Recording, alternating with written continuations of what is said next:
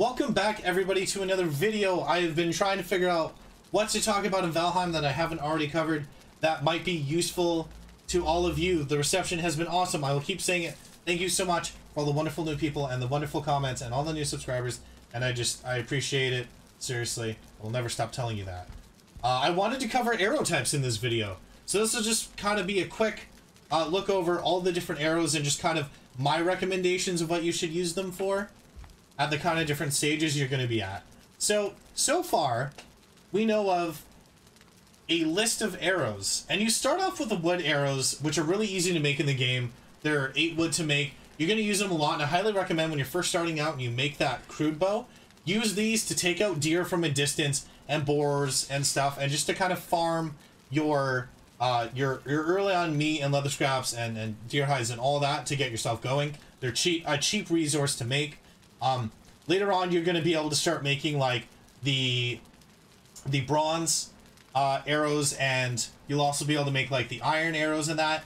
Um, they're they're good again as you kind of advance. But the cool thing about Valheim is it actually has like status ailment arrows.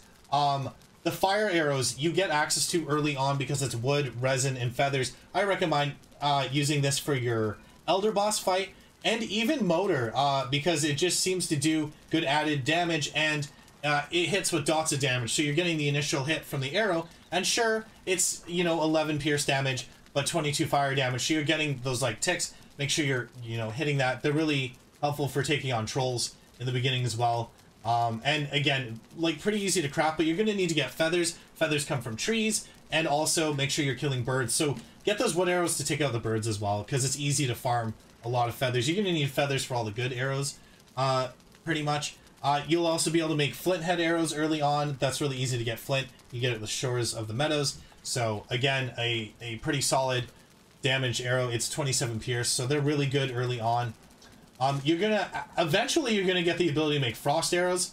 Uh, when you start getting obsidian, you're gonna unlock obsidian arrows, poison, and frost. Frost, I found really effective against Bone Mass. If you have to fight him again, or somehow you get Obsidian prior to going to the swamp, I recommend using Frost arrows on Bone Mass, because other than that, it's melee damage for Bone Mass. Other arrows just seem to be whatever, but Frost arrows seemed fairly effective, at least when I tried it. Um, Obsidian arrows are solid with a Pierce of 52, and Obsidian is really easy to farm. Once you get access to the mountains, you're going to find tons of it all over the place, so make sure you're farming that. Poison arrows are fantastic. I love hitting enemies with poison damage. It does 52 poison damage and uh, 26 pierce. So it's a good combo together overall. But um, before we go over the last one, which I really think you should, uh, again, um, covering your, your metal arrows. So you're going to get bronze arrows once you unlock bronze, pierce of 32. Iron arrows at uh, the Iron Age with a pierce of 42. And silver, silver arrows do a pierce of 52. Once you start getting your silver, you can make those. So kind of compared to the obsidian, they do the same damage. I honestly wouldn't waste your silver personally and just do the obsidian arrows uh, when you can. Because obsidian, uh, you don't have to use it as much. Whereas silver, depending how much you farm and how many people you're playing with, you're going to kind of need a lot of silver going around. But my absolute favorite with a pierce of 62 damage are the needle arrows. Once you get access to the plains, all you need are needles and feathers. So take down those Deathsquitos the way we talked about. These are hard-hitting arrows, and they are great for just railing on enemies and uh, like crushing them. So needle arrows for the win, but definitely like, you know, the final stitch. Definitely the last thing you get arrow-wise that we found so far. Hopefully there'll be more as more content is added. But I just wanted to take a moment, you know, talk to all of you about arrows and their usefulness. Arrows are a great thing in this game, especially when you're being a solo player. It's just, you know, fight or flight if you got to, right? But arrows are a good way to take down some enemies. And some people argue that arrows are OP right now.